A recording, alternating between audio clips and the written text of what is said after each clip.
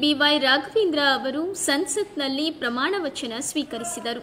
ಇದೀಗ ನಾಲ್ಕನೇ ಬಾರಿಗೆ ಅವರಿಗೆ ಸಂಸದರಾಗುವ ಭಾಗ್ಯ ಬಂದಿದೆ.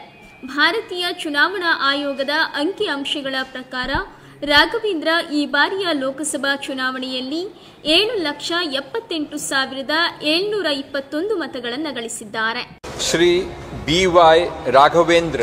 ಬೂಕೆನ್ಕೆರೆ ಯಡಿಯೂರಪ್ಪ ರಾಘವೇಂದ್ರ ಎಂಬ ಹೆಸರಿನವನಾದ ನಾನು.